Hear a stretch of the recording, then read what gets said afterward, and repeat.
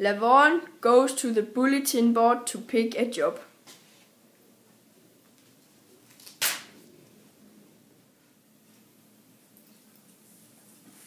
Hello, Hey, who is this? I'm calling about the babysitter job. Oh, fantastic. It is still available. Yes, of course. It's only for a certain number of hours. Alright, but my mom says I have to do my homework. Of course, you will uh, have time for that. Um, what is your name? My name is Jolly. Jolly? I never heard that name before. So, uh, what is your name? Lavange?